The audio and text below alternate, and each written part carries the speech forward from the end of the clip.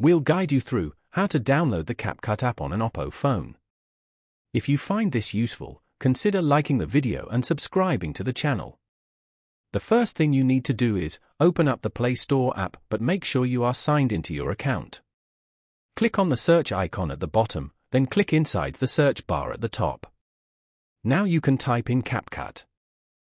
From the search results, click on the CapCut app and the apps page will open up.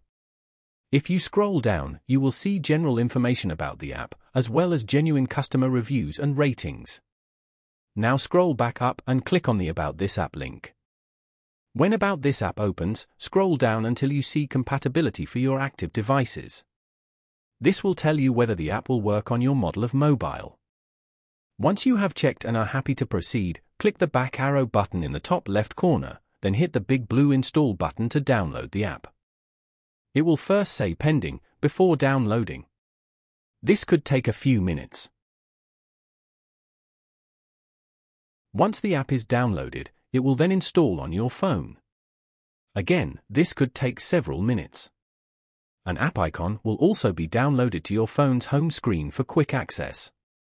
When the installation is complete, hit the blue Open button.